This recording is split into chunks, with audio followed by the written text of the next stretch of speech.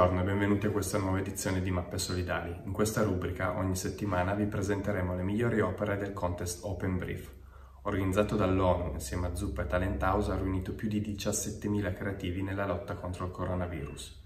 Ma non solo, insieme ad RTA, la comunicazione responsabile, vi proporremo alcune delle iniziative più incisive e intelligenti che aziende italiane e estere stanno attuando in questo momento storico. Ma vediamo ora le proposte di questa settimana. Il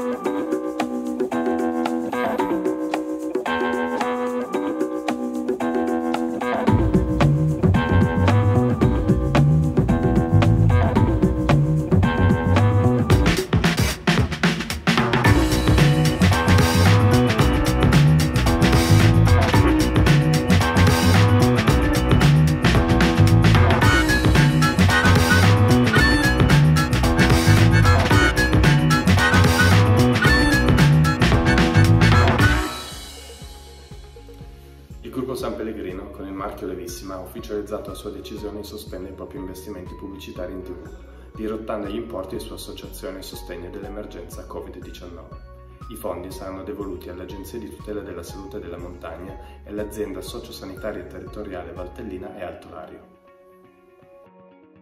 Filoalfa, produttore italiano di filamenti per stampa 3D, propone bobina sospesa, che nasce sulla traccia del O caffè suspeso napoletano. Attraverso il sito c'è la possibilità di donare una bobina che verrà consegnata a chi saprà utilizzarla al meglio, pagandola da un prezzo scontato. Centinaia di bobine sono state spedute in tutta Italia per la produzione di dispositivi utili alla protezione del personale medico-sanitario. Isinnova, incubatore di start-up attivo nel campo sanitario, ha riadattato l'uso di una maschera da snorkeling attraverso la stampa 3D. Decathlon, il produttore e distributore della maschera EasyBreath, si è reso subito disponibile con una donazione di maschera. È stato poi quindi disegnato un nuovo componente per il raccordo al respiratore, la valvola Charlotte, stampata interamente in 3D. Isinnova ha reso libero l'uso del brevetto con l'auspicio che venga utilizzato dal maggior numero possibile di ospedali. E concludiamo questa edizione con una nuova carrellata di video e immagini del contest Open Brief dell'ONU. A tra poco. Thank you.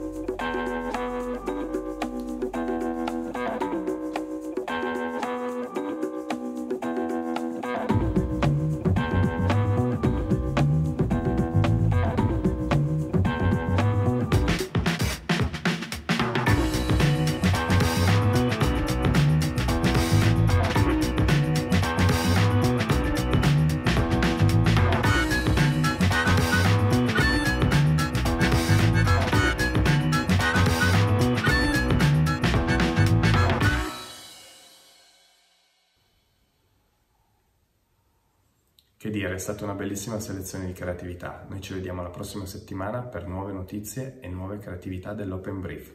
A presto!